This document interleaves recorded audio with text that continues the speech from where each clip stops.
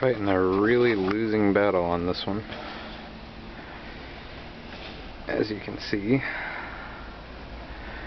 there is snow everywhere. And the occasional brave motorist. Mostly quiet though.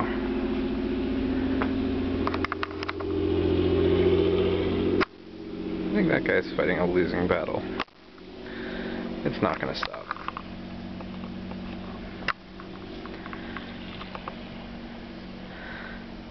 The Great Ohio Blizzard of 2008.